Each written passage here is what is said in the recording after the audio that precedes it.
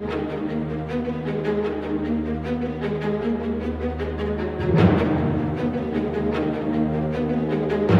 BJP ने 2 मार्च को लोकसभा चुनाव के लिए एक सौ पंचानवे उम्मीदवारों की लिस्ट जारी की थी। इसमें पार्टी ने भोजपुरी स्टार पवन सिंह को पश्चिम बंगाल की आसनसोल सीट से उम्मीदवार भी बनाया था।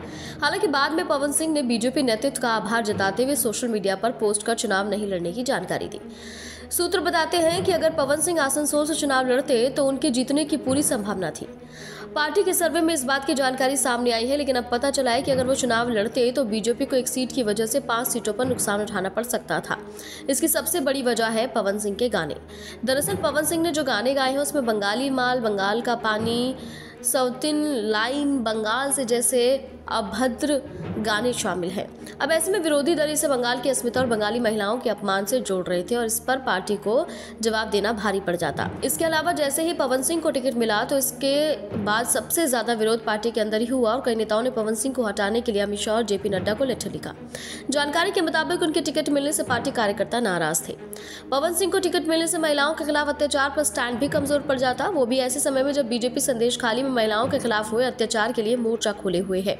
अब ऐसे में एक व्यक्ति को टिकट देना, जिसने बंगाल की महिलाओं को लेकर अभद्र गाने बनाए हों, पार्टी के लिए नुकसानदेह हो सकता था।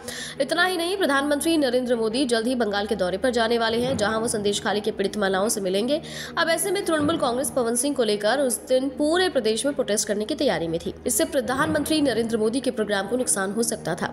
वही खबर है कि पार्टी ने सब चीज़ों का आंकलन करने के बाद इस सीट पर महिला को टिकट देने का मन बना लिया है, ताकि नारी शक्ति वंदन के अभियान को बल दिया जा सके। सूत्रों के मुताबिक पवन सिंह को कहा गया है कि आप ट्वीट कर चुनाव लड़ने से मना कर दे, ताकि बीजेपी सेल्फ गोल से बच सके।